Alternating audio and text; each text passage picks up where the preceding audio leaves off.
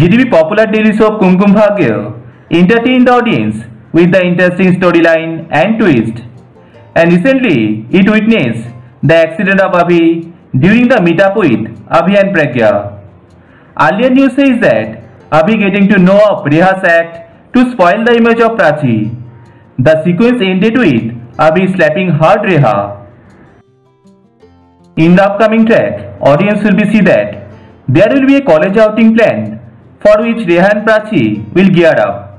While Abhi will tell Rhea to behave well with Prachi, Pragya will advise Prachi to keep distance with Rhea and not get into a problem yet again with her.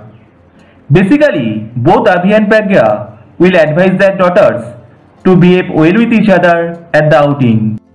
Thank you so much friends for watching this video and hit like and share this video and subscribe our channel for latest new video daily.